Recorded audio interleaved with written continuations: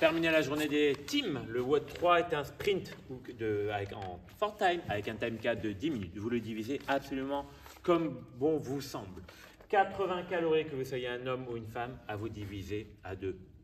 60 mètres de push sled. Le sled part de son petit pointillé noir. 15 mètres plus loin, on a notre pointillé noir, on le dépasse entièrement. Ça fait 15, on revient, ça fait 30, on revient, ça fait 45, et il revient là une dernière fois, on sera sur les 60 mètres.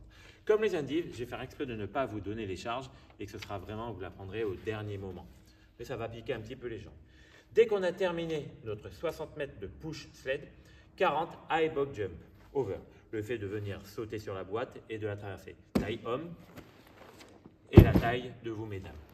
C'est un sprint total de for time, time cap 10 minutes, 80 cales, 60 mètres de push sled, donc deux allers-retours, 40 mètres de high box jump que vous divisez absolument comme bon vous semble. Et voici la fin des journées des teams. Ciao